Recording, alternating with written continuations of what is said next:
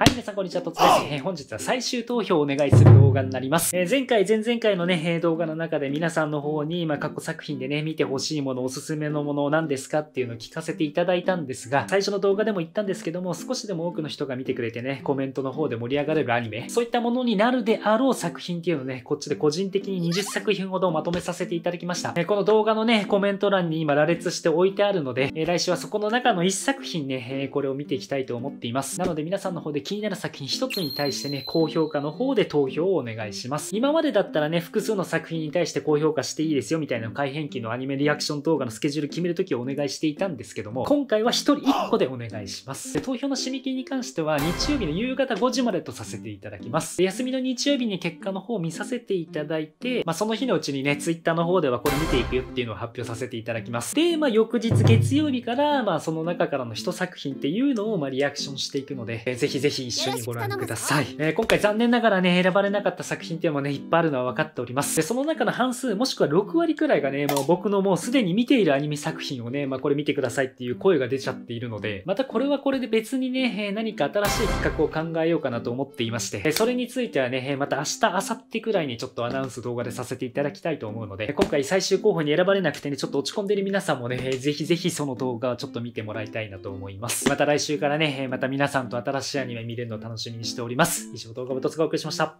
バイバイ。